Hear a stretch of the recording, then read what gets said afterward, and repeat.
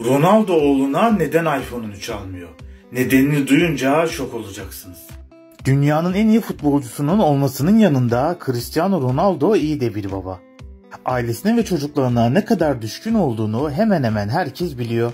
Özellikle büyük oğluyla doğduğundan itibaren özel olarak ilgileniyor. Kendisi gibi büyük bir futbolcu olması için elinden geleni yapıyor.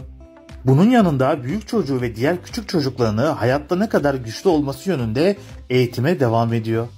Geçtiğimiz günlerde ise Ronaldo ve büyük oğlu gündeme farklı bir yönle geldiler. Ronaldo oğluna neden iPhone 13 almıyor? Bu soru gündemden uzun süre düşmedi. Öncelikle Ronaldo'nun oğluna telefon almamasının sebebi oğlunun teknoloji bağımlısı olmasını istememesiymiş.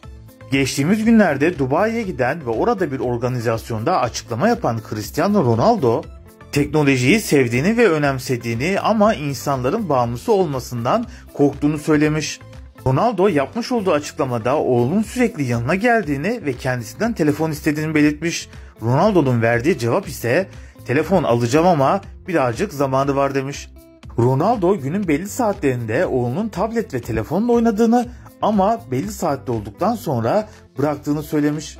Ronaldo ayrıca yapmış olduğu açıklamada oğlum eğer beni bir gün aramak isterse babaannesinin telefonunu kullanabilir. Ona özel bir telefon almayı düşünmüyorum demiş. Ronaldo'nun oğlunun ayrıca Instagram hesabı da çok yüksek.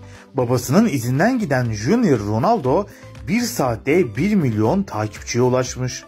Normalde birçok ünlü aylarca ve yıllarca gönderi atarak bu takipçiye ulaşıyor. Ama tabii dünyanın en iyi futbolcusunun oğluysanız bir saatte bu rakamlara ulaşabilirsiniz. Ancak Ronaldo bu olaya çok kızmış ve oğlunun hemen Instagram hesabını silmiş. Sosyal medyanın oğlu için riskli olduğunu belirten Ronaldo, orada geçireceği vakiti real hayatında arkadaşlarıyla birlikte geçirebilir demiş.